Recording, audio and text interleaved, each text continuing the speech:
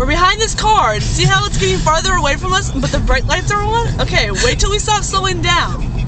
The brake lights will go away, and his dim lights will come on.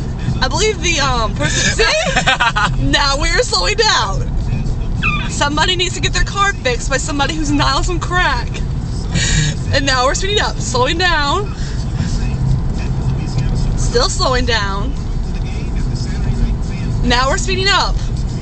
We've been behind this car for 11 miles and we still have 13 more to go. Save us, Lord. Hopefully, Josh is paying attention to what he's doing. I am. I am. Josh is paying attention to what we're doing. but this has been abusing us for the last 10 minutes. Or the last 10 miles we've been on this uh, causeway for more than 10, 10 minutes. Yes. See, we're accelerating. Still accelerating. Now we're slowing down. I'm braking.